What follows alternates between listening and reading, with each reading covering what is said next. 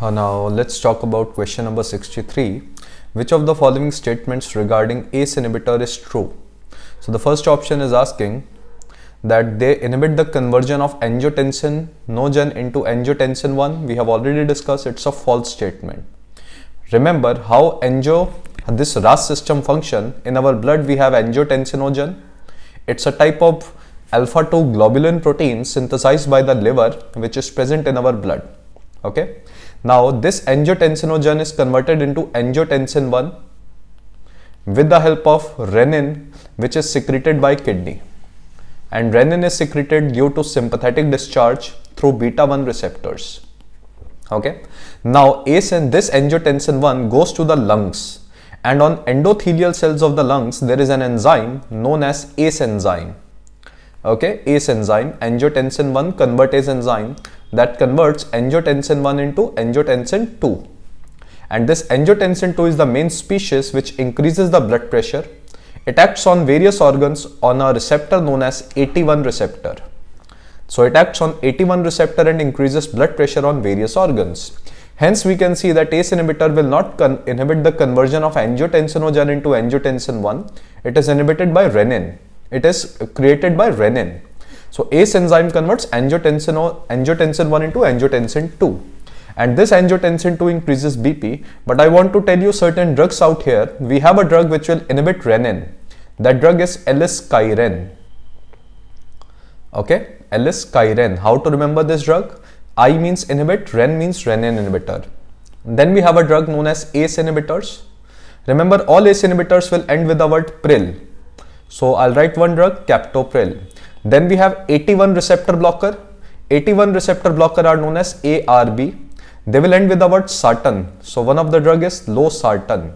And all these drugs are used as an antihypertensive drug. So renin inhibitors, ACE inhibitors and ARB, they are used as an antihypertensive drugs. Now the second question which is asking out here is, okay, Omission of prior diuretic dose decreases the risk of postural hypotension. It's absolutely true statement. Remember, when ACE inhibitors are combined with diuretics, it increases the risk of postural hypotension. So if you will omit the dose of diuretic, it will reduce the risk of, uh, it omits the risk of postural hypotension. The reason is when you will give diuretic due to decrease in blood volume, Diuretic increases sympathetic discharge.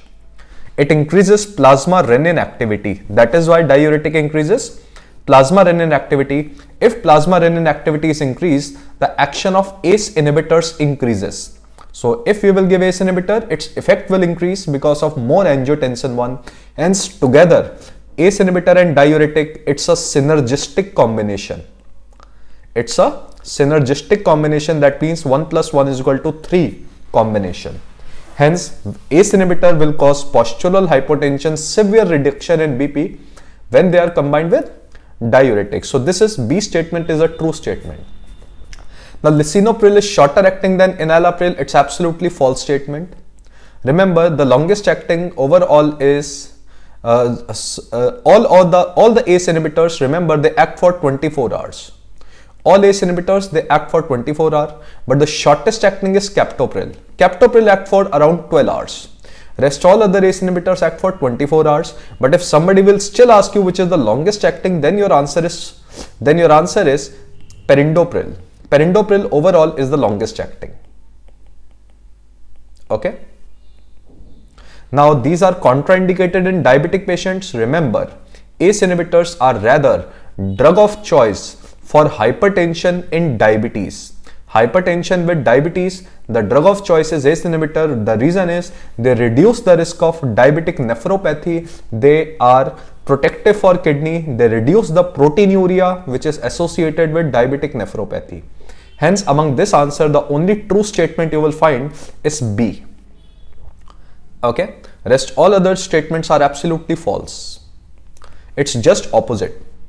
Now, which of the following is used in the treatment of pulmonary artery hypertension? Now, remember pulmonary artery hypertension is a condition in which the arterial pressure in pulmonary artery increases more than 21 millimeter of mercury. Now, what are the drugs we use for pulmonary artery hypertension? Remember, if pulmonary artery hypertension is vasoreactive, vasoreactive positive, we give calcium channel blockers as drug of choice. Okay, but remember, vasoreactive patients are very less, only less than 10% of the patients are vasoreactive. If it is vasoreactive negative, this is the most common form of uh, pulmonary artery hypertension. The drug we use are, you can write Pepsi as a mnemonic so first we use is PGI2 analogs. Okay. We use endothelin antagonist. Remember all endothelin antagonists, they will end with the word entan, like bosentan. Now PGI2 is given by IV or inhalational route. It is the most effective drug. While endothelin antagonists, they are given orally, they are convenient, hence they are considered as a drug of choice because this is the most common variety of pulmonary artery hypertension. Then we have phosphodiesterase 5 inhibitors sildenafil and tadalafil. They are also used in uh, erectile dysfunction. We have soluble guanyl cyclase activator. The drug name is Riociguat. How to remember? GU means guanyl cyclase, AT means activator. Then we have IPR agonist. IPR is the receptor of PGI2. They are the drug known as Selexipag. Okay, Selexipag. So these are the drugs which are used in pulmonary artery hypertension. Nowadays, there is a role of one more drug, imatinib. An anti-cancer drug, imatinib also has a role in pulmonary artery hypertension, but it is not approved yet. Okay. So try to remember this mnemonic Pepsi. Overall drug of choice is endothelin antagonist. Most effective drug is PGI2 and calcium channel blockers are given in vasoreactive positive. It is the only drug which can be given in pulmonary artery hypertension as well as systemic hypertension. Now the next class of question is which of the following ACE inhibitor is not a prodrug? It's a very important question. Remember all ACE inhibitors are prodrug except two, except two, we will write captopril and lisinopril. Captopril and lisinopril are not prodrug. So it's a very important question that you must remember. Captopril and lisinopril are not prodrug, they themselves are active drug, hence mark the answer as mark the answer as lisinopril. So we have uh, forgot to answer the question number 64. So which of the following is not used? Calcium channel blocker, they are used. Prostacyclins, yes. PGI2 are also known as prostacyclin. Endothelin antagonists, yes, they are the drug of choice. So the drug which is not used is alpha blockers. Alpha blockers are not used in pulmonary artery hypertension. Now, angiotensin 2 causes all except. We have discussed that angiotensin 2, which was formed here, angiotensin 2 which was formed is the main species which increases blood pressure by acting on AT1 receptor. So angiotensin 2 is the main species which increases blood pressure. Agreed? And it increases blood pressure by acting on receptor on various organs known as AT1 receptor. Now let's see in which organs AT1 receptors are present and how angiotensin 2 increases blood pressure. Remember, angiotensin 2 receptor, AT1 receptors are present in CNS and in CNS it increases sympathetic discharge. AT1 receptor is present on heart and it increases systolic blood pressure. And if it will continuously stimulate the heart, can we say it will lead to cardiac hypertrophy? And cardiac hypertrophy is the hallmark of CHF, heart failure. That is why ACE inhibitor and AT1 receptor blocker are given in heart failure. If you talk about blood vessels, remember they are very powerful vasoconstrictor, AT1 receptor. So ACE inhibitor and ARB, they are vasodilator. And last point in, in kidney, above kidney, there is an adrenal gland. In adrenal gland, they stimulate the release of, they stimulate the release of aldosterone hormone. And aldosterone hormone causes sodium retention. The blood osmolarity will increase and it causes potassium loss that is why if you will give ACE inhibitor, they will produce opposite effect. They will cause sodium loss. They will be diuretic drug and they will produce a side effect of increase in potassium in the blood known as hyperkalemia. Okay. Now, so they cause sodium loss. So because of this reason. Now remember when there is increase in sodium osmolarity in the blood, it stimulates the release of ADH hormone. ADH hormone also increases water level and overall the blood volume will increase and if there is increase in blood volume it will lead to increase in blood pressure okay? So these are the effects. So i'll repeat. In cns AT1 receptor are present. They increase sympathetic discharge. AT1 receptor are present on heart. They directly stimulate heart which can lead to systolic blood pressure increase and cardiac hypertrophy. They are present on blood vessel. It leads to vasoconstriction. It is present on adrenal cortic, cortical gland. It activates ras system. It causes sodium retention and potassium loss. And increase in sodium retention increases the osmolarity of the blood. Hyperosmolarity stimulate adh release so keeping this thing in mind, let's follow the false statement. It stimulates ADH release. Answer is absolutely true. Do you agree with this part? It increases thirst. Yes. Why ADH hormone increases water uh, retention? ADH hormone, remember, increases thirst. It causes vasodilatation. It's a false statement. They are rather vasoconstrictor. It stimulates aldosterone release. It's absolutely true. So if you talk about what are the effects of ACE inhibitor and ARB, they will produce just opposite effect. Can we say in CNS they are sympatholytic drug? Can we say that in heart they inhibit cardiac hypertrophy? Because they inhibit cardiac hypertrophy, they are used, they are the drug of choice for heart failure. Can we say that they are vasodilators? They dilate arteries and veins. They decrease aldosterone. Now remember, reduction of aldosterone causes sodium loss and any drug that causes sodium loss is a diuretic. So remember these drugs they have diuretic action. They also reduce adh hormone release. And if you talk about what will be their main side effect their main side effect will be they will preserve potassium ace inhibitor and arb they cause hyperkalemia which is a very dangerous side effect of ace inhibitors and arb so remember this part. This is all about ace inhibitors and arb which is very important for you okay? So let's talk about now next question. If you talk about next question it is asking about a patient with chest pain and ECG shows ST depression. So ST depression can occur remember in angina. Okay? And it can also occur in non-ST elevated MI okay? non-ST elevated MI now remember the drug of choice for management of non-ST elevated MI because of ST depression is we give a drug. When the patient comes we start with a drug beta blockers. Okay beta blockers. Why? Because beta blocker reduce the cardiac work. For symptomatic improvement remember for symptomatic improvement we give four therapy. You will write mona. For pain we give morphine. To increase oxygen supply to the heart we give nitric oxygen we give nitro, nitroglycerin NTG to reduce the preload to the heart and aspirin. Okay. And why we give beta blocker? To reduce the arrhythmogenic potential of heart as well as to protect heart. Then what is the definitive treatment? Remember definitive treatment is reperfusion therapy. Why angina and MI occurs? Because of blockage of coronary artery. But remember how we will be doing reperfusion therapy out here? We will be doing PCI that is percutaneous coronary intervention. We will put a probe and we will remove this thrombus. This is also known as angioplasty. So we will put a metallic stent or a balloon, ballooning or metallic stent.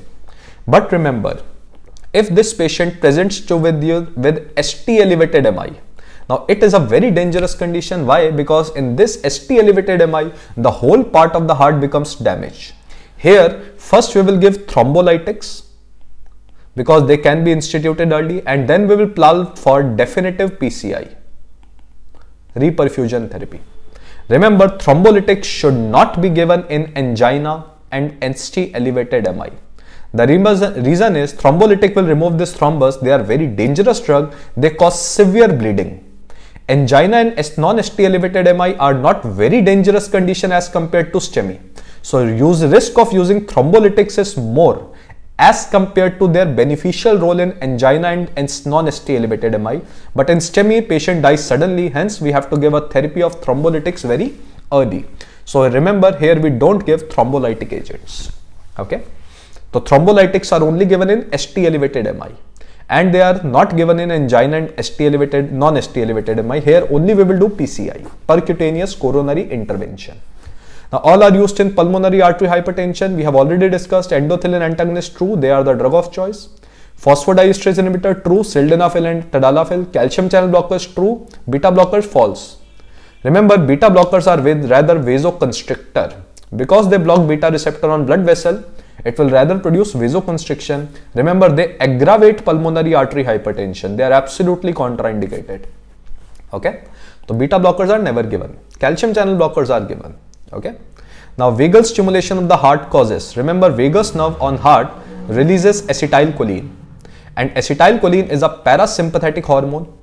And remember parasympathetic activity increases when we are at rest. And at rest we don't need any more heart stimulation. So acetylcholine depress heart. So let's try to find out the correct answer for this question it increases heart rate it's absolutely false. It rather decreases heart rate by inhibiting SA node and AV node. It causes hyperpolarization of SA node and AV node. Okay? It hyperpolarizes them. Okay? Sympathetic stimulation depolarizes them. It increases RR interval. If there is increase in RR interval remember the heart rate decreases on ECG and hence it is a true statement increase in RR interval means there is reduction in heart rate it's a true statement increase in cardiac output false they will not stimulate they are not stimulating heart they are increasing force of contraction no they are depressing heart now angiotensin convertase.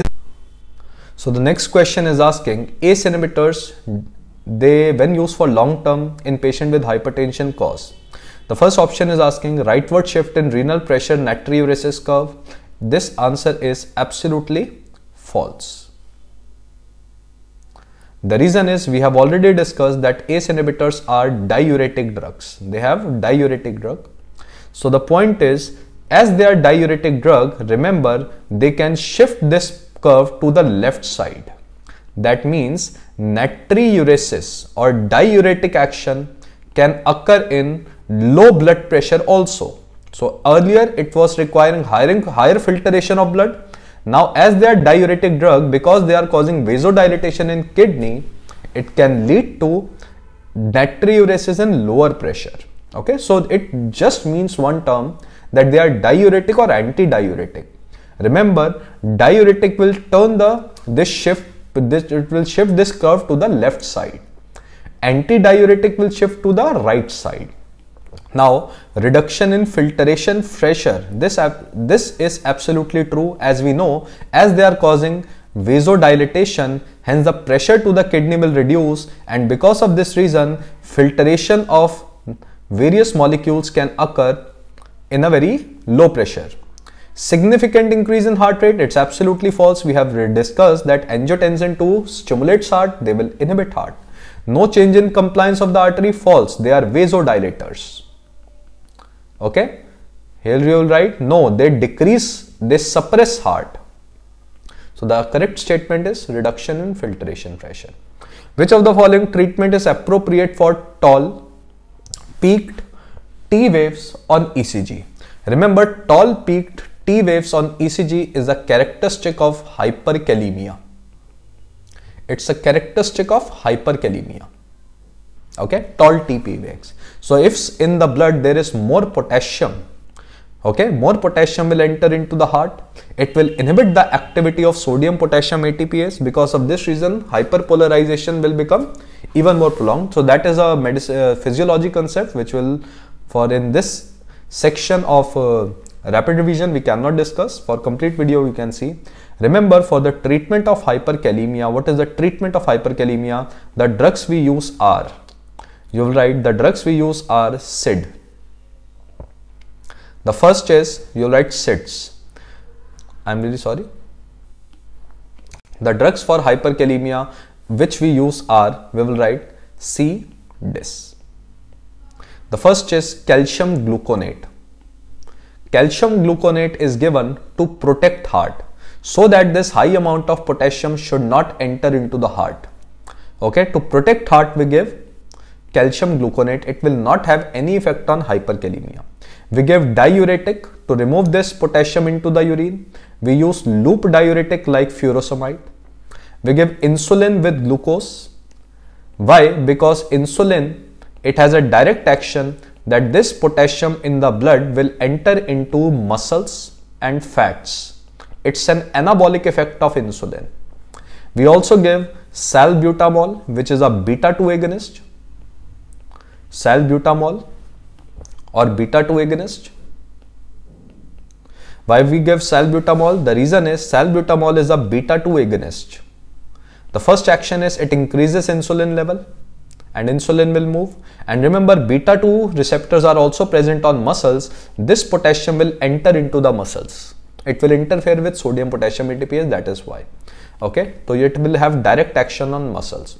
And lastly we give sodium bicarbonate because generally hyperkalemia presents with marked metabolic acidosis. The reason is when potassium enters into a cell, a cell to maintain the charge releases H plus into the blood which can lead to acidosis.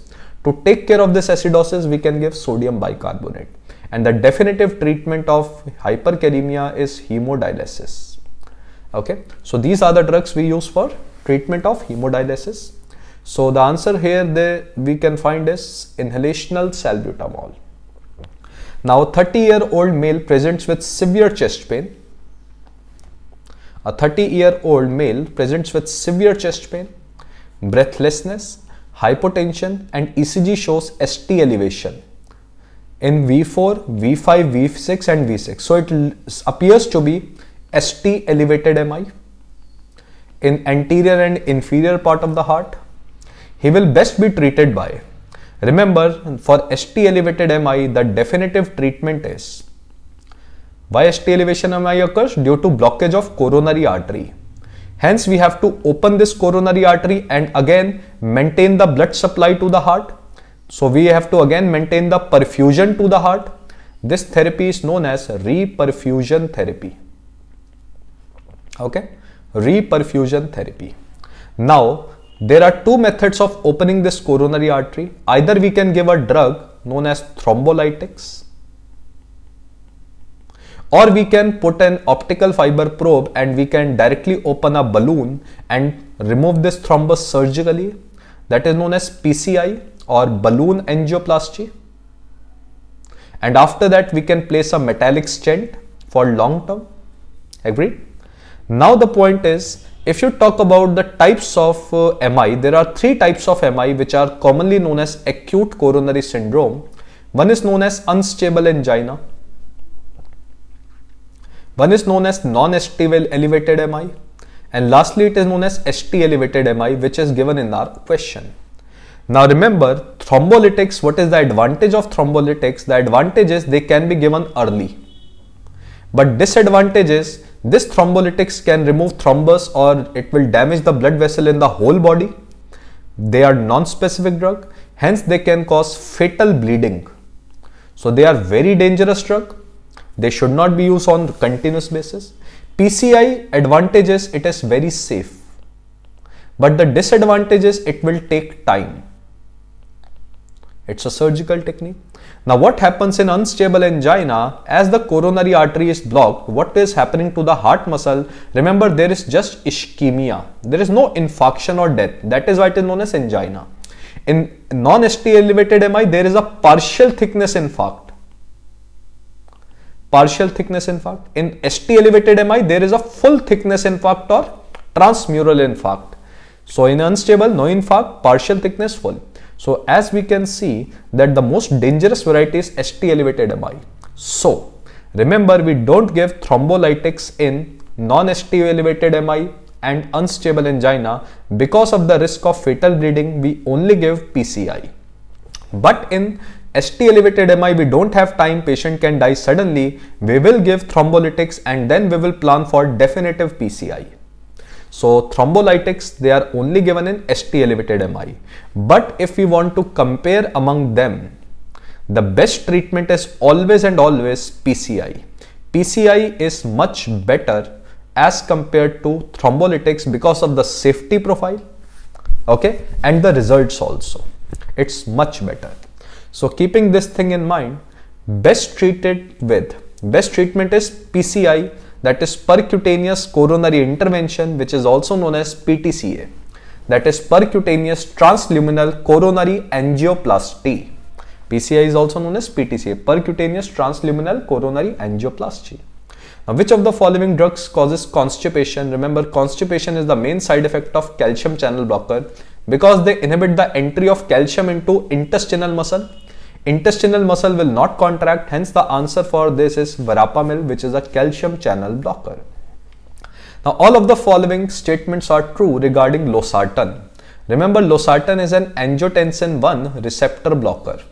It is ending with the word sartan, also known as ARB. So, first point, it is a competitive receptor antagonist of angiotensin. True. All AT1 receptor are competitive antagonists. It's absolutely true statement. Okay, it's absolutely true statement. It's a it has a long acting metabolites. It's absolutely true. They may have a, a metabolite. It has negligible cough. It's absolutely true. Remember, cough is the side effect of ACE inhibitor and they can cause 15% cases of cough. But what about ARB? ARB only causes 1% cough which is similar to placebo. Placebo means a normal fake drug can also cause 1% cough so it is negligible. Okay. It causes hyperuricemia. It's absolutely false statement. It is one of the antihypertensive drug which has uricose uric action. Which has uricosuric action. It rather reduce blood uric acid hence it is a very good drug for gout okay so i'll just show you certain special properties of sartan which is very important for you that you must remember always some special properties of sartans okay so if you talk about certain special properties of sartan we will write that losartan Losartan has, if you are seeing, is it has uricosuric effect. It reduces blood uric acid level. Hence, it is a very good drug for gout. It also has antiplatelet effect. Why? Because it blocks thromboxane A2 receptor on platelets. Then we have telmisartan. Telmisartan is a very good drug for diabetic patient. Why? Because it reduces insulin resistance. Why? Because it acts on a receptor known as PPAR gamma agonist. Okay. Then we have irbesartan. It's a very good drug for arrhythmia. Why? Because it inhibits sodium channels on heart. Hence, it is given for chronic atrial fibrillation also. So these are the three special properties of ARB which you must remember. Okay. Now, which of the following drugs should not be given alone in the patient of pheochromocytoma? Remember, in the patient of pheochromocytoma, as I have already told you, there is severe hypertension. And to control this severe hypertension, first we give an alpha blocker and then we add a beta blocker. Okay, the first we add an alpha blocker, mainly phenoxybenzamine.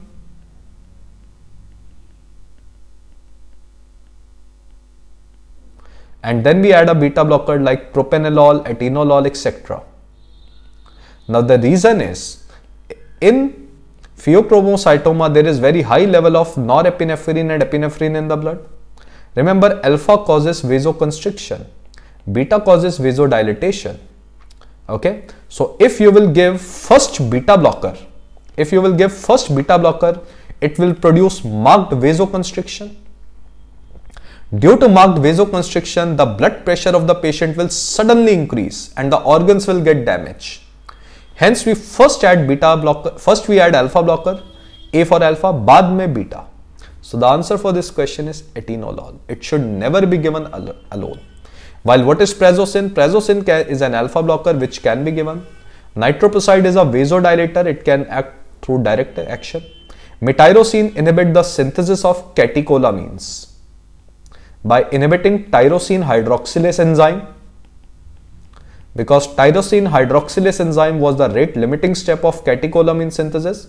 So it is considered as a drug of choice for inoperable cases of pheochromocytoma metyrosine. Now renin is secreted from JG cells of kidney that we already know. JG cells of kidney have beta 1 receptor, they release renin. Which of the following drugs does not does not result in release of nitric oxide? Remember nitro word is coming so it must be releasing Nitroprusside true, they both are NO donor. Hydralazine is also an NO donor plus potassium channel opener. So the incorrect answer is fenoldopam. Fenoldopam is a partial D1 receptor agonist. It produces vasodilatation by stimulating D1 receptors which produces vasodilatation. The most significant adverse effect of ACE inhibitor is we know that ACE inhibitor is an antihypertensive drug. Okay, and if you talk about their side effect, antihypertensive drugs, their main side effect is hypotension. Okay, it also produces hyperkalemia. It also produces, remember, allergic reaction. The most common allergic reaction is dry cough due to increase in bradykinin level. So remember, it's an antihypertensive drug. Mark the answer as hypotension. Okay. Which of the following indications are the use of ACE inhibitors except where ACE inhibitor is used? Remember ACE inhibitors, they are the drug of choice for hypertension. They are given during MI to prevent infarct expansion. They are given in CHF because they reduce cardiac hypertrophy, hence they are given in left ventricular dysfunction. There is no role of ACE inhibitor in pheochromocytoma. Okay, there is no role of ACE inhibitors in pheochromocytoma. We have already discussed the drugs alpha blocker followed by beta blocker. ACE inhibitors causes all of the following except. Now ACE inhibitors causes all of the following except the answer for this question is ankle edema. Okay. Now let's write the first why it will not cause ankle edema that I'll tell you shortly. Remember ankle edema occurs due to sodium and water retention. Any drug that causes sodium and water retention will cause edema. And we have already discussed that ACE inhibitors they have diuretic action. Why it has diuretic action? Because it decreases the level of aldosterone. Remember reduction in level of aldosterone reduces sodium, it causes sodium and water loss. So because of this reason it will produce opposite action. Okay. So it will produce opposite action. So let's talk about the side effects of ACE inhibitor. We can write a mnemonic of side effects of ACE inhibitor. So it can cause cough. It causes angioedema.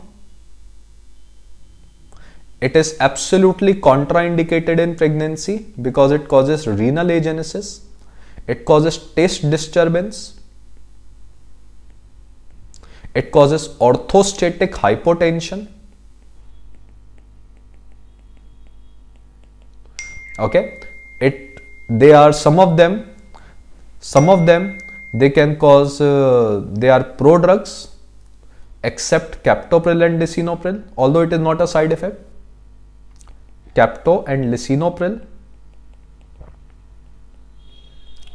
Remember they increase uh, they are absolutely contraindicated in renal. They are absolutely contraindicated in renal artery stenosis. And in bracket you will write bilateral renal artery stenosis it can lead to acute renal failure because they reduce blood supply. Okay? Then you will write the increased potassium or hyperkalemia and they cause low WBC or agranulocytosis. These are the complete side effect of ACE inhibitor. You can make a mnemonic captopril. You can make a mnemonic captopril. Okay.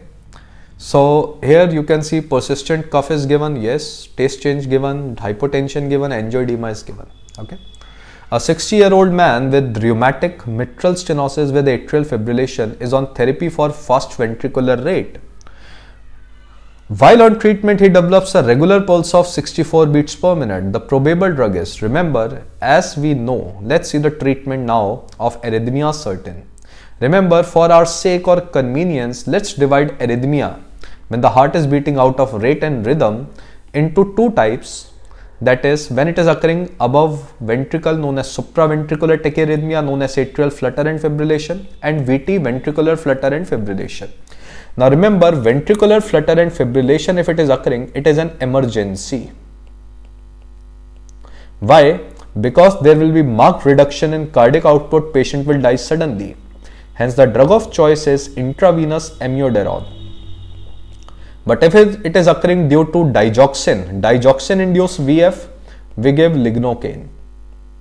Otherwise, all other causes we give amiodarone, especially after MI. But remember, if his atria is beating very high, it is not a dangerous condition. If atria is not beating high, our main aim is to prevent this ventricular fibrillation. So the treatment of SVT is to prevent VT. prevent this impulse to reach into the ventricle. Hence, in the treatment of SVT, we give AV nodal blockers because all the impulse from atria will come to ventricle. So this is the main treatment. Remember AV node, they only have calcium channels. They don't have sodium channel. Hence we block the AV node by giving calcium channel blocker. Okay. And if you will give calcium channel blocker, the ventricular rate will reduce and the patient will be saved. Hence if you talk about the drug of choice is calcium channel blocker verapamil. Okay. The drug of choice is verapamil. So remember this part. Here the drug of choice is verapamil. Okay. Now let's move forward. Which of the following is not an adverse effect of ACE inhibitor? We have already discussed its hypokalemia. Rather, it causes hyperkalemia. ACE inhibitor rather causes increase in potassium. Use of which of the following drug is contraindicated in pregnancy? So I'll just show you the list of the drugs which are given in hypertension in pregnancy. Here the answer is remember ACE inhibitors are absolutely contraindicated in pregnancy or ARB.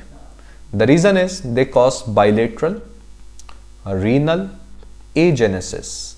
They are highly teratogenic drug. They are category X teratogenic drug. They are absolutely contraindicated in pregnancy. So how to manage the uh, hypertension in pregnancy? Let's see a list how to manage hypertension in pregnancy. Okay. So we'll see one photo. It's very simple how to manage it. So if you see this part that how to manage hypertension in pregnancy, we have written two terms. One is chronic hypertension in pregnancy. Second term we have written is pregnancy induced hypertension, preeclampsia and hypertensive emergency in pregnancy. Now, chronic hypertension means there is a female who is hypertensive and she became pregnant. This is known as chronic hypertension. The drug of choice is alpha methyl dopa. It is the safest drug we have. But if it is not controlled, we give oral labetalol. Not controlled, we give oral hydralazine or calcium channel blocker. But if it is pregnancy induced hypertension, that means a normal female after pregnancy became hypertensive. It's a very dangerous condition. The BP may shoot up. The drug of choice is labetalol followed by hydralazine and calcium channel blockers. So overall, if nothing is mentioned, the drug of choice is labetalol everywhere. But remember which drug is absolutely contraindicated that is ACE inhibitor and ARB. They cause bilateral renal agenesis. And we can we must avoid beta blocker, diuretic and nitroprusside. They should be given only if there is some severe compelling indication, only then we give them. Okay. Remember labetalol is an alpha plus beta blocker, not just beta blocker. Okay. So nifedipine, it can be given, yes. Amoxicillin, it is the, the safest antimicrobial in pregnancy. Digoxin is also safe in pregnancy. Okay. Now, racemic mixture of two enantiomers with different pharmacokinetic and dynamic properties seen with. It's a very peculiar property of verapamil. Remember, verapamil has two form, D form and L form. Remember, D form suppress neurons and because of this reason it can be given in various conditions of headache. This verapamil is an approved drug for cluster headache and it is also an approved drug for migraine, prophylaxis of migraine. While L form remember it acts on mainly on heart and blood vessels or we can write muscles. Because of this reason it is given in arrhythmias It is given in angina and rarely it is used in hypertension also. So these are the two pharmacodynamic properties. Okay, pharmacodynamics. Okay, so remember this part. The answer is verapamil. Now effect of angiotensin 2 includes, we have already discussed angiotensin 2 causes systemic vasoconstriction. It's absolutely true. It causes vasodilatation? No. Remember angiotensin 2 will tend to increase blood pressure. So try to correlate the things which will increase the blood pressure. Okay. The things which can increase blood pressure is vasoconstriction. It's absolutely true. Vasodilatation will not increase the BP. Renal vasodilatation, it's false. If there is renal vasodilatation, remember there will be diuresis and diuresis will reduce the blood pressure. Reabsorption of sodium from proximal tubule, it's absolutely true. If sodium will come back into the blood, can we say the blood pressure of the body will increase? Okay and it causes retention of water. It's absolutely true. We have discussed it increases ADH level. The true statement is, so the false statement is, it does not cause vasodilatation. Okay. Now hyperkalemia is associated with the drugs which causes hyperkalemia are first we will write the answer is ACE inhibitors. It's absolutely true. Chlorthalidone, remember it's a thiazide and thiazide and loop and carbonic anhydrase inhibitor diuretic they all cause hypokalemia. Amphotericin B it also causes hypokalemia. Okay, there is no significant effect of amiodarone and rifampicin. So let's write certain drugs which can cause hyperkalemia as their side effect. So you'll write A, B, C, not soluble. ACE inhibitors and ARB, beta blockers. Okay, we will write uh, cyclosporin, an immunosuppressive drug, and clonidine also. Clonidine, you will write NSAIDs, and potassium sparing diuretic like spironolactone. That is why we generally don't combine ACE inhibitors with spironolactone. The reason is they can lead to marked hyperkalemia. Okay, they can lead to marked hyperkalemia. But if you want to add some other drug, you can write heparin, an anticoagulant can also cause hyperkalemia. You can write one antibiotic, trimethoprim can also cause hyperkalemia. Trimethoprim can also cause hyperkalemia. One more antibiotic if you want to write is pentamidine. But what is expected from you is ABCNS. Till now, till this you must remember. Okay. Now glucose intolerance is seen with. The answer is thiazide. True. Enalapril, no. They, rather, they are the drug of choice for hypertension with diabetes. Propanolol, true. Furosemide, true. Verapamil, no effect. Verapamil is neutral. So let's talk about the effect of various antihypertensive on blood glucose and blood lipid level. Okay. You'll write they can reduce or they are beneficial. You'll write they will cause they are harmful or they can increase blood glucose level or neutral. So here the answer is reduce or beneficial are and neutral are. We will write reduce or beneficial that can reduce blood glucose and lipid level is alpha blockers. That is prazosin. Prazosin. You can also write ACE inhibitors and ARB, especially telmisartan. Telmisartan is a specific drug. Harmful and third you can write as clonidine. Okay, clonidine. Harmful is you can write B and D that is beta blockers like propranolol and diuretics. Neutral you can write as calcium channel blockers. So this is the complete list of the drugs which are good for diabetic and dyslipidemia, harmful and neutral. Remember the drug of choice for hypertension with diabetes is ACE inhibitors. Which of the following drug is deposited in muscles? Remember digoxin will be deposited in muscles it is, has a very strong propensity to bind to sodium potassium ATPase which is located on the muscle especially cardiac muscles. That is why digoxin produces inotropic effect on heart. Okay, it has a very strong propensity to bind with cardiac muscle sodium potassium ATPase. ACE inhibitors are contraindicated in, we have already discussed contraindication, bilateral renal artery stenosis. ACE inhibitors, remember they are the drug of choice for hypertension with diabetes mellitus. They are preferred in old age also. They are the drug of choice for hypertension associated with scleroderma also. But they are absolutely contraindicated in bilateral renal artery stenosis because it can lead to acute renal failure.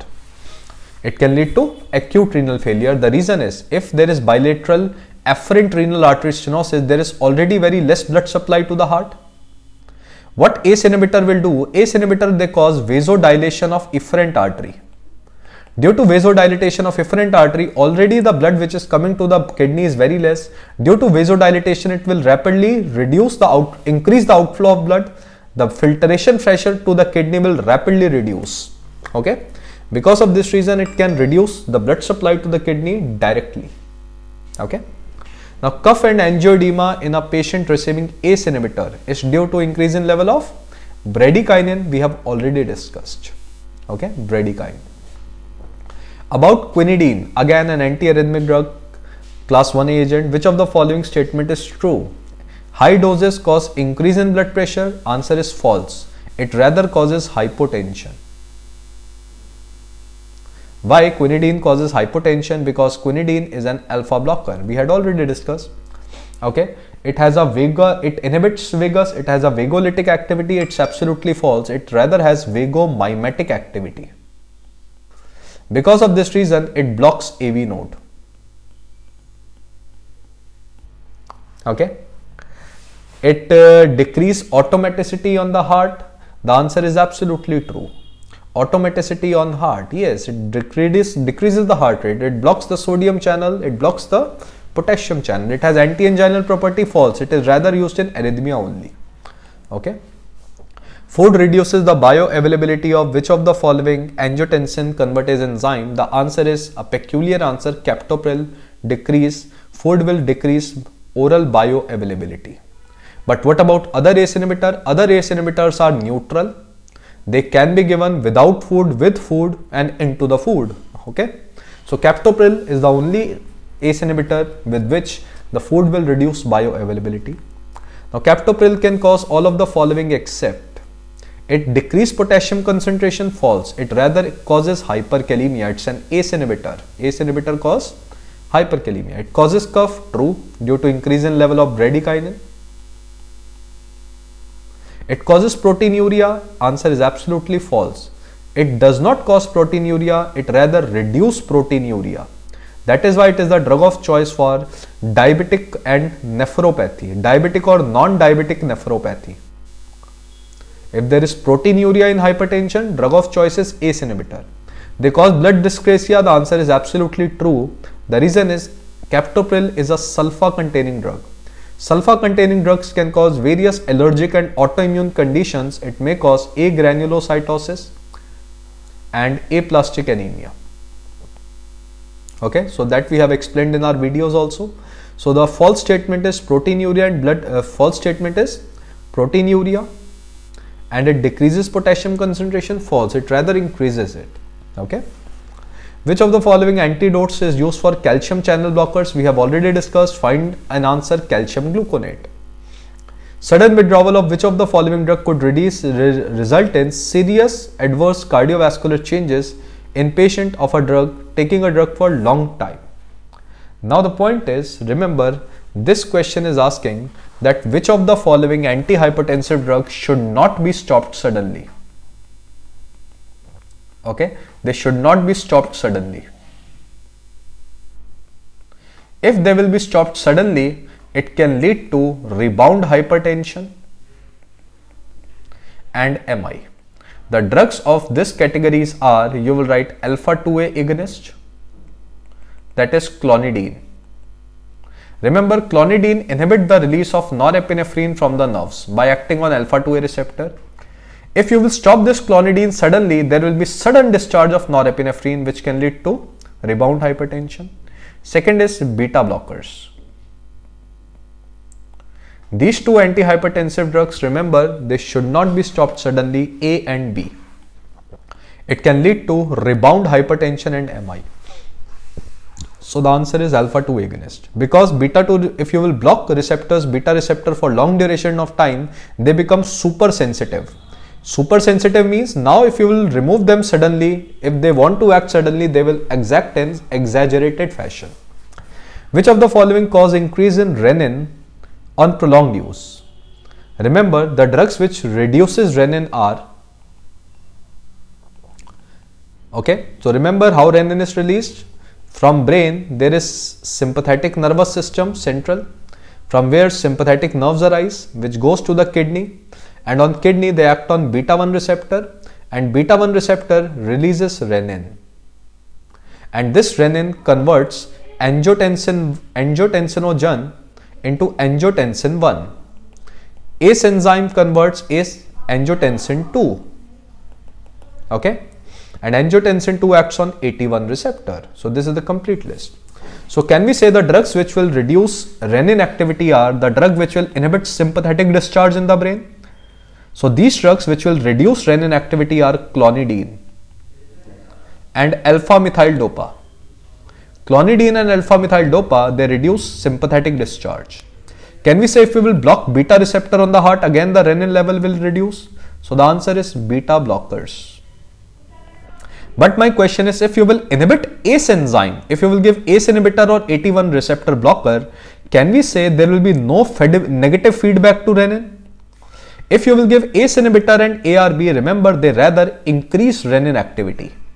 ACE inhibitors and ARB they act downstream, they rather increase renin level, but they will inhibit the action of renin.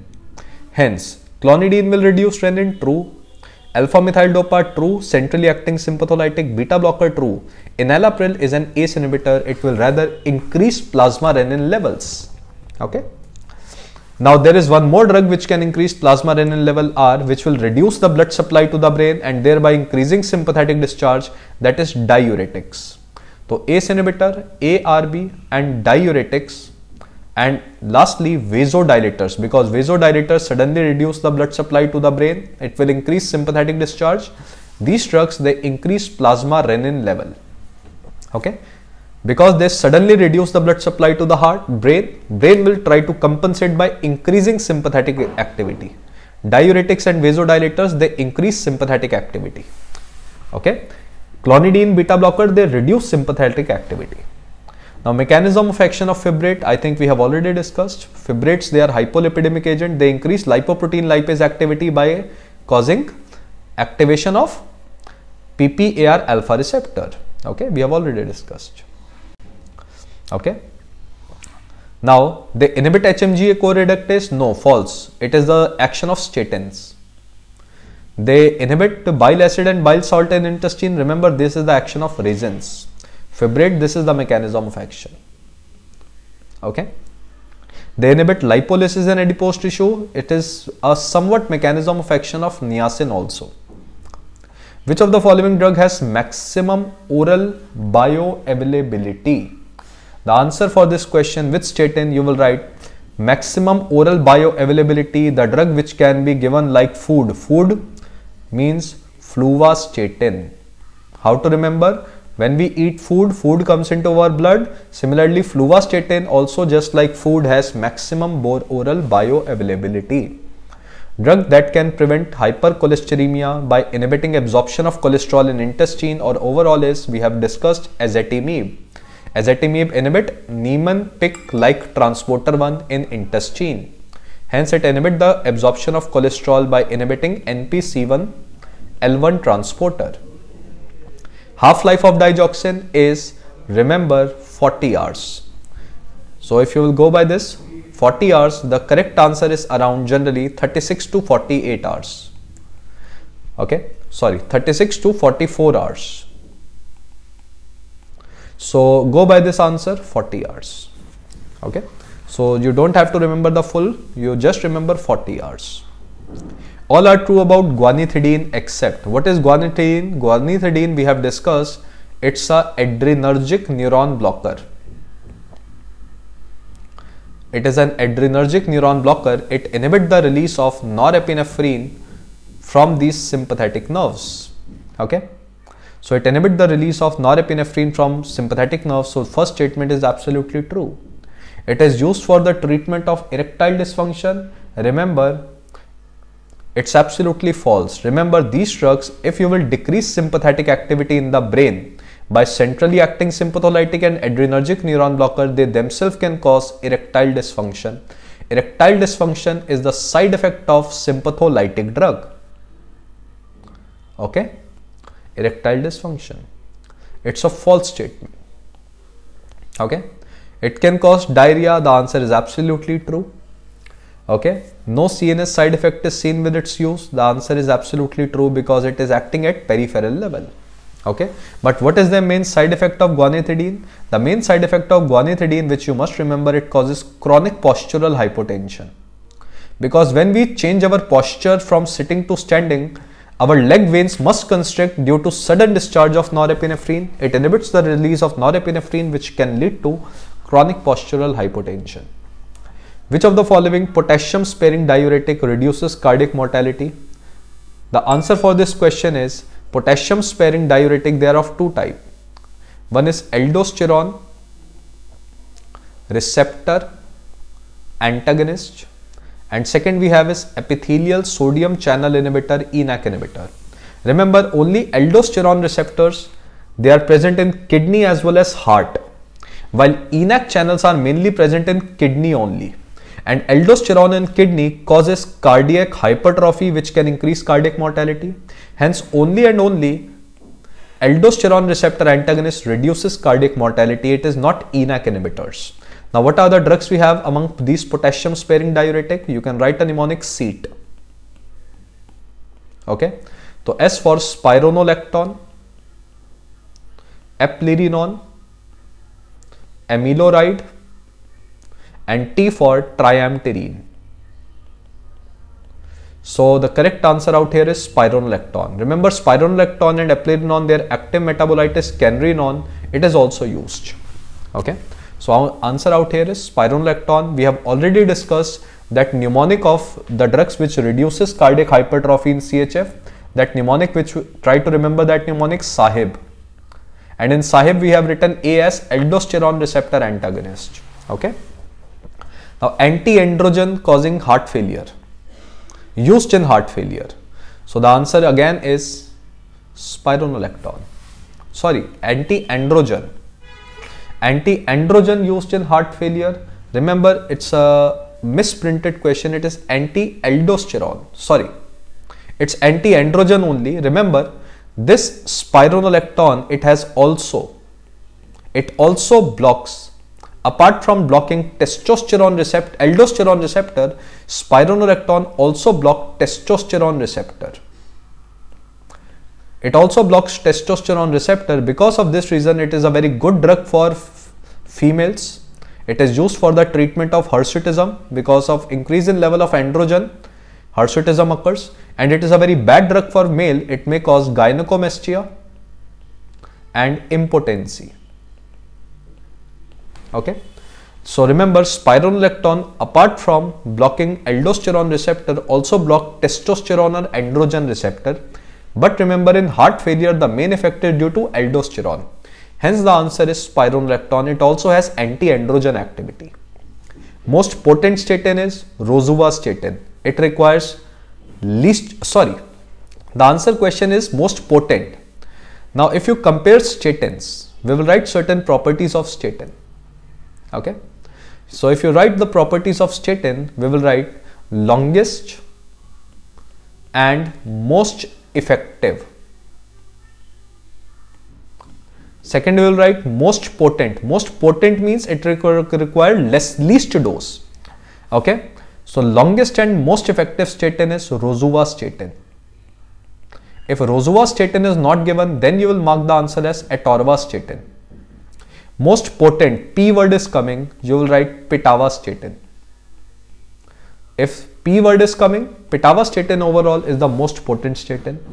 Okay, so remember this part. Hence the answer out here is pitavastatin, most potent. If it is acting longest and most effective, rosuvastatin. The mechanism of nitric oxide, we have already discussed that nitric oxide stimulate one enzyme inside the smooth muscle known as guanyl cyclase. And this guanyl cyclase rapidly converts GTP into cyclic GMP.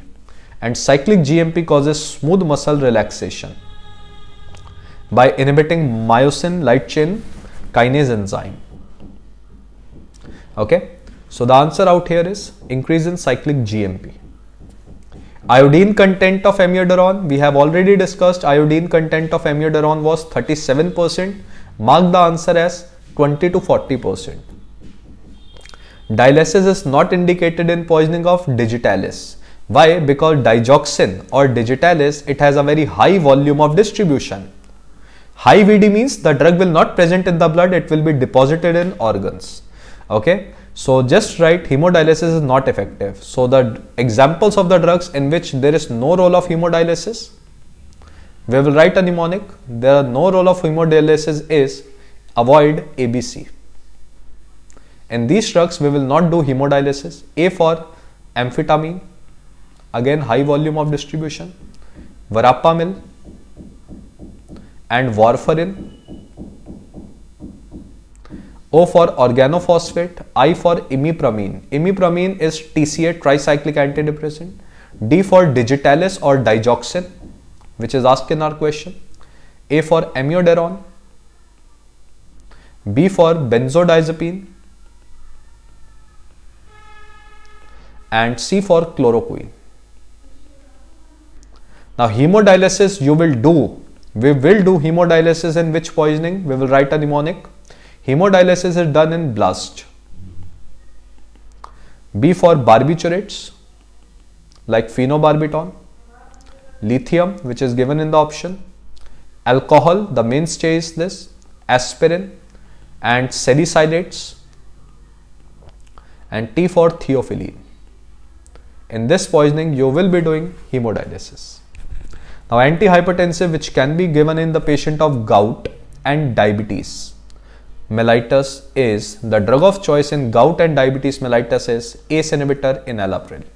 So I'll just show you the list of the various drugs which are given in hypertension with some comorbidities. Which drug would you prefer to use? So this list is very important for you that in hypertension with some other conditions which drug to be used. So drug of choice in hypertension. So first is CKD. CKD is kidney failure, stroke, heart failure, diabetes and metabolic syndrome that means diabetes obesity and hyperlipidemia the drug of choice is ace inhibitors okay but remember ace inhibitors are contraindicated in renal artery stenosis calcium channel blocker peripheral vascular disease like vasospastic angina asymptomatic atherosclerosis and bilateral renal artery stenosis beta blocker try to find heart conditions aortic aneurysm angina mi atrial fibrillation and hyperthyroidism then spironolactone, aldosterone antagonist when there is hyperaldosteronism and resistant hypertension. Resistant hypertension means not controlled by three drugs. and remember in black people avoid ACE inhibitor, they can cause severe allergic reaction. Hypertension with benign prostatic hypertrophy, alpha blockers. Postmenopausal symptom, clonidine. Migraine, beta blocker. Pregnancy, we have already discussed the treatment of hypertension in pregnancy. So this is the various uses. So you can write the answer as diabetes is written in enalapril. Now beta blocker is which class of antiarrhythmic drug? 2. Except which beta blocker? Except which beta blocker? Sotalol. Sotalol is under class 3. Treatment of choice for cyanide poisoning? The answer was sodium nitrite because sodium nitrite will convert hemoglobin into methemoglobin and this methemoglobin will bind as a chelator for cyanide so it will form cyano methemoglobin. Now you can easily remove this cyano methemoglobin by adding sodium thiosulfate. If you will add sodium thiosulfate, it will form sodium thiocyanate. Sodium thiocyanate is not as dangerous as compared to cyanide. It can be removed. But if you want to give a direct antidote, it is not a direct antidote. Nitrite they convert hemoglobin into uh, methemoglobin, the direct antidote is vitamin B12 that is hydroxycobalamin. Hydroxycobalamin will form cyanocobalamin which can be removed by sodium thiosulfate. Okay. Cough is an adverse effect of ACE inhibitor enalapril. Digoxin can accumulate in the toxic level in the patient of remember digoxin is not metabolized in liver So it is liver safe and it is excreted unchanged in kidney with the help of P glycoprotein protein. Hence, digoxin is absolutely contraindicated in kidney failure. Hence, if there is renal failure or renal insufficiency, the toxic amount of digoxin can accumulate. It is absolutely safe in liver failure. it is contraindicated in kidney okay now if you want to talk about one a brother of digoxin this is digitoxin remember digitoxin is safe in renal failure because digitoxin is safe in renal failure because it is eliminated out in bile Which of the following drug has the longest half-life? We have discussed amiodarone is the longest acting antiarrhythmic drug with a half-life of 58 days. Dofetilide we have discussed potassium channel blocker beautiful divas. Which hypolipidemic drug can reduce lipoprotein A level? The only hypolipidemic which can reduce lipoprotein A level as well is niacin. We have already discussed. All of the following are used in atrial arrhythmia. The answer here is except that is lignocaine. So just write a very important point that class 1b agent that is lignocaine, phenytoin etc. they are given in ventricular tachyarrhythmia but in supraventricular tachyarrhythmia like atrial flutter and fibrillation they are not given while class 4 agents that is calcium channel blocker like verapamil they are absolutely contraindicated in ventricular tachyarrhythmia because they can reduce the cardiac output and they are the drug of choice for supraventricular tachyarrhythmia. So class 4 agents and class 1b agent they have opposite use. Okay. So remember this part. Which of the following does not contribute to digoxin toxicity? Okay. So remember how digoxin toxicity occurs. It's a very simple point. Okay, let's see the mechanism of action of digoxin. So if you talk about how digoxin act, digoxin is a type of cardiac glycoside. Okay, it is also known as, it is obtained from digitalis plant. It has positive inotropic effect, that means it increases force of contraction. It inhibits force, increases force of contraction by inhibiting sodium potassium ATPase on the heart.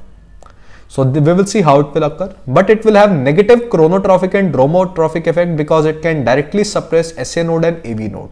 So digoxin has vagomimetic effect. Vagus nerve also does same thing. Now by inhibiting sodium potassium ATPase on heart, remember where digoxin binds, digoxin blocks potassium binding site of sodium potassium ATPase. Hence sodium cannot move outside, potassium cannot come inside. So digoxin competes with potassium if it is competing with potassium, can you tell me if outside potassium is very low? Can we say hypokalemia will lead to more binding of digoxin, which can produce digoxin toxicity? So hypokalemia, less potassium outside will increase the binding of digoxin, toxicity can occur. Okay. Now let's see and can we say that we should give potassium as an antidote for digoxin poisoning? Okay, because it is competing with potassium. Now as this channel is inhibited, the level of sodium increases. This sodium inhibit NCX channel which increases calcium level inside the cell. Calcium increases the stores of smooth endoplasmic reticulum which increases the force of contraction by binding of actin and myosin.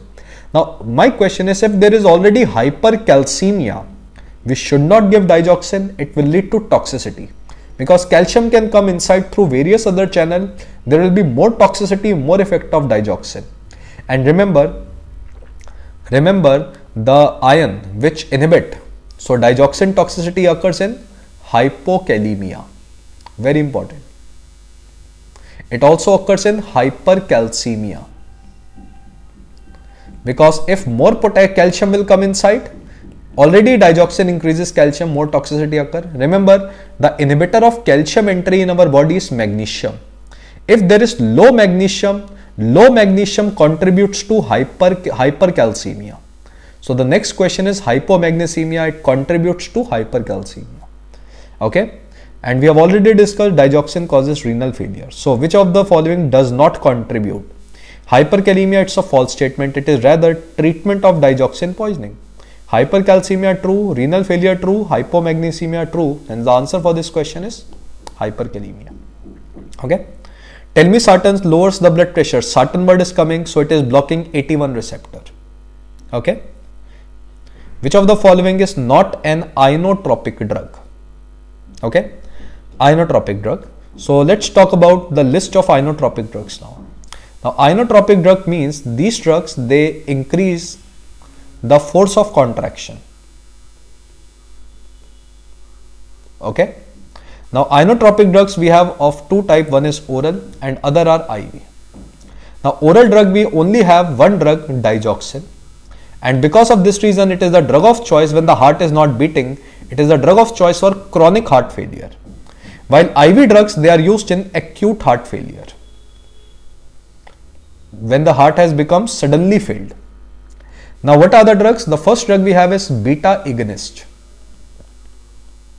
The first drug we have is beta agonist like catecholamines like norepinephrine, epinephrine, dopamine, dobutamine, and lastly isoprenaline. The second we have is phosphodiesterase 3 inhibitor. They increase the level of cyclic AMP. Remember cyclic AMP stimulates heart inotropic effect. Cyclic AMP also produce vasodilatation. Remember phosphodiesterase 3 inhibitor they are also known as inodilators. The only approved drug nowadays is milrinone. But there are other drugs also rarely used like inamrinone etc. So they are inodilator. The third class of drug we have is phosphodiesterase 3 inhibitor plus calcium sensitizer. So it will also have inotropic effect and potassium channel opener. Potassium channel opener is a vasodilator. The drug is levosimendan. Levosimendan and pimobendan. So calcium sensitizer produces inotropic effect and potassium opener produces vasodilatation because potassium moves outside the cell. So this is the complete list of ino, inotropic drugs you have. Okay. And what was digoxin? Digoxin was sodium potassium ATPase inhibitor. So this is their main mechanism. It is the only oral drug hence given for chronic heart failure. In intravenous drug they are given for sudden or acute heart failure. Hence the answer is Amrinone, it's true. Amrinone and inamrinone are same drug. Isoprenaline, true. Dopamine, true. Amiodarone is not an inotropic drug, it's an antiarrhythmic drug. Okay, so the incorrect statement is amiodarone. Which of the following statin has longest? We have already discussed longest was Rosuva. Which vitamin is using for treatment of hypercholesteremia? We have already discussed niacin. Now, antihypertensive agent act by blocking all of the following except so we have already seen the list of the drugs alpha adrenoreceptor blocker. Okay. Blocking answer is absolutely true. Alpha blockers are used as an antihypertensive drug like prazosin, phentolamine. They block ATP dependent potassium channel. This is a false statement. Now remember, potassium is mainly present inside the cell. Sodium is present outside the cell and the net movement of potassium is generally outside the cell. If you will block this potassium, the positive charge inside the muscle will increase. The muscle becomes depolarized. Remember, blockage of potassium causes vasoconstriction, which will increase BP. Hence, in antihypertensive drug, we give potassium channel opener because if we will make this potassium outside, the heart will become hyperpolarized and blood, vessel. So we rather use potassium channel opener like hydralazine, minoxidil, diazoxide. Okay, we don't give antihypertensive potassium channel blocker, we rather give opener. Hence, this is the false statement. Okay, they block norepinephrine release, yes, adrenergic neuron blocker we have already written one drug, guanethidine, bretylium, etc. Beta blockers, true, beta blockers are used in antihypertensive drug. Okay. What is sildenafil? We have already discussed sildenafil in pulmonary artery hypertension. It is a phosphodiesterase 5 inhibitor and it increases the level of cyclic GMP. So the answer out here is it's a selective inhibitor of phosphodiesterase inhibitor it has two use. The uses are it is a drug of choice for erectile dysfunction and it is also used in pulmonary artery hypertension. Okay. Now just remember these phosphodiesterase inhibitor they increase cyclic AMP level, GMP level. We have already discussed nitrates. Nitrate they increase nitric oxide. Nitric oxide also increases cyclic GMP level. Remember you should never combine sildenafil with nitrate. Sildenafil and nitrate, they should never be combined. Okay. These two drugs should never be combined. Phosphodiesterase inhibitor and nitrate, they should never be combined. Why? Because it will increase the level of cyclic GMP massively. It will produce massive hypotension and it can lead to sudden death. It can lead to sudden death. Okay. Now, drug of choice for scleroderma associated with hypertensive crisis, we have already discussed ACE inhibitors. Which of the following drug of is the drug of choice in pregnancy induced hypertension? Remember the drug of choice is labetalol. But if labetalol is not given in the option, you will go, go by alpha methyl dopa. Okay? Alpha methyl dopa. ACE inhibitors are absolutely contraindicated. Now, dobutamine is preferred over dopamine in cardiogenic shock. The reason for this option is you will write it causes less peripheral vasoconstriction. Remember dobutamine only act on beta 1. It only have inotropic effect. But if you talk about dopamine, dopamine act on D1, beta 1 and alpha 1. It produces vasodilation. It produces inotropic effect and it produces vasoconstriction so this is the dose if we will use in shock, cardiogenic shock. So it produces vasoconstriction. Remember, dobutamine has no effect on peripheral blood vessel. It is specific for heart only. Now rate limiting step of synthesis of cholesterol in liver was HMG CoA reductase and it is inhibited by statins. All of the following drugs can cause gynecomastia except the drugs which causes gynecomastia, you can write a mnemonic DISCO.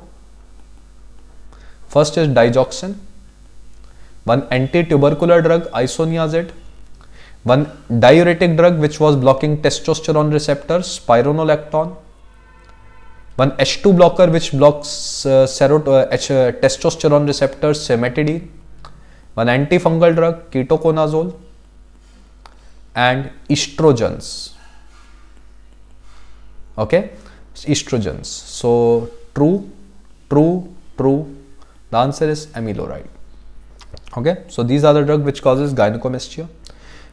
All of the following are antiarrhythmic drugs except try to find lignocaine true class 1b agent. Class 1b enalapril is an ace inhibitor. Remember ace inhibitors are not antiarrhythmic drug. Atenolol beta blocker true class 2 sotalol class 3 which of the following antihypertensive drug is contraindicated in pregnancy? We have already discussed ACE inhibitor and ARB. And ACE inhibitor they end with the word pril, ARB they end with the word sartan. Answer here out here is ACE inhibitors. They cause bilateral renal agenesis. Which of the following calcium channel blocker is used for the treatment of supraventricular tachycardia? So answer is verapamil because verapamil acts on heart. It's an anti-arrhythmic drug. Remember dipines. Dipines, they do not act on heart. They are not anti-arrhythmic drug. Okay. So with an increase in heart rate and renin release, increasing in heart rate and renin release is seen in patient of CHF can be overcome by which of the following drug? We know that the heart rate is increased by beta 1 receptor Renin is also released by beta 1 receptor on kidney. So, which drug will reduce heart rate as well as renin production in kidney? That is a beta blocker. So, the answer out here is metoprolol. Okay, metoprolol. And remember, only this is the drug which is given in heart failure. These drugs are not given in heart failure. Which of the following is class 3? Remember beautiful divas. The answer is amiodarone. Quinidine 1A, amiodarone 3, propranolol 2, lignocaine 1b. Which of the following is a potassium channel opener? We have written a mnemonic HMN that was hydralazine, minoxidil and uh, nicorandil and diazoxide. These four drugs are potassium channel opener. Try to find the answer minoxidil. Which of the following is not a calcium channel blocker? The answer out here is enalapril, it's an ACE inhibitor. Treatment of choice for ventricular fibrillation, we have already discussed. The best treatment is give adenos amiodarone. But remember, amiodarone is the drug of choice. You can also give lignocaine. But remember, before this drug, we must give electric shock or defibrillator. The best treatment is cardioversion. This is also known as defibrillator. This is the best treatment.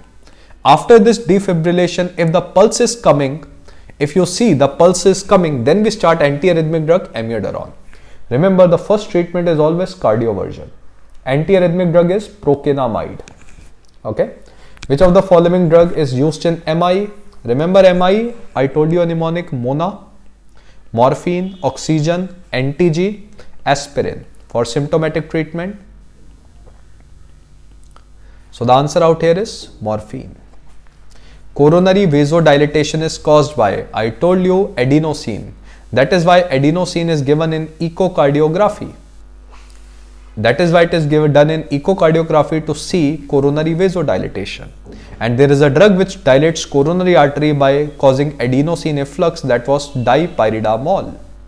Okay, so remember the concept of stress echo we had discussed. Effect of corneal microdeposits seen with which of the following antiarrhythmic we have discussed amiodarone. Now remember corneal microdeposit or vortex keratopathy. Vortex keratopathy. Vortex keratopathy is also known as cornea verticillata. It is seen due to deposition of various drug in a flower-like fashion like this.